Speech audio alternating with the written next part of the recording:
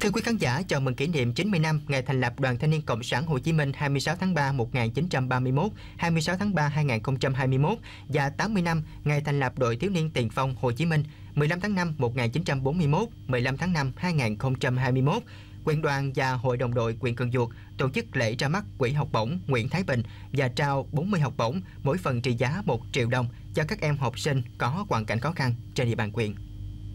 Quỹ học bổng Nguyễn Thái Bình ra đời nhằm chung tay góp sức chia sẻ một phần khó khăn cho các em học sinh hiếu học trên địa bàn quyện. Nguồn quỹ hình thành từ sự đóng góp của các em học sinh tiểu học, trung học cơ sở.